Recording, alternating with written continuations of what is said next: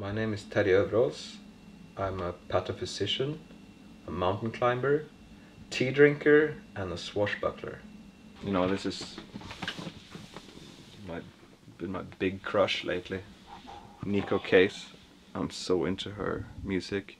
And turns out she played drums in one of Cup's bands, you know?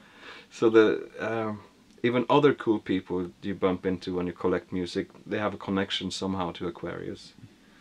Oh, Neko Case. When I listen to her, or what stuff just happens to every part of my body. It's like in my stomach there's butterflies on MDMA and in my brain, oh no, let's just not go there.